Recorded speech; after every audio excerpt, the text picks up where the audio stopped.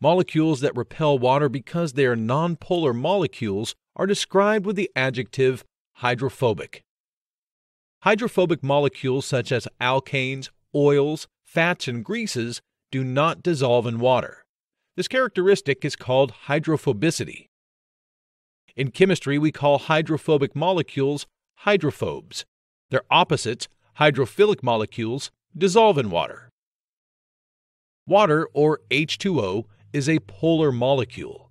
It has polarity, which is an uneven distribution of electron density among its atoms. The oxygen side of any water molecule is slightly negative, while the hydrogen side is slightly positive. Polar water does not bond with nonpolar or hydrophobic molecules. The adjective hydrophobic has its roots in a Greek word, hydrophobos, which means dreading or fearing water. Hydrophobic molecules repel water, do not dissolve in water, or are themselves repelled by water molecules. Characteristics of hydrophobic molecules.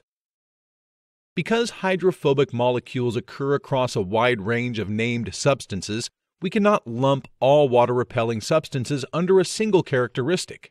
Some overlapping characteristics emerge, however.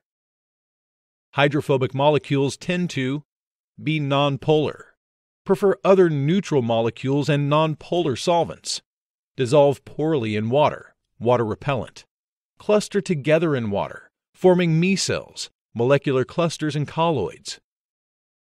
Force water into high contact angles or contact with surfaces coated with hydrophobic substances. High contact angles cause water to bead up.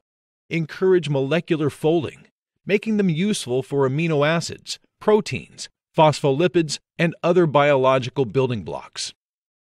Substances with extremely high contact angles, greater than 150 degrees, are said to be superhydrophobic and have superhydrophobic surfaces. These substances, such as nanopin film and self assembled monolayers, may be useful in biomedicine, nanotechnology, energy efficiency, and improving thermodynamics in power plants.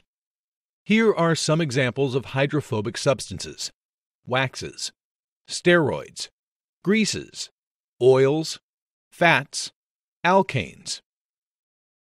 All of these hydrophobic substances do not dissolve in water. Most of them repel water, as seen with car wax causing rainwater to beat on your car's metal surfaces. You can review what you've learned about hydrophobic substances by taking the quiz below.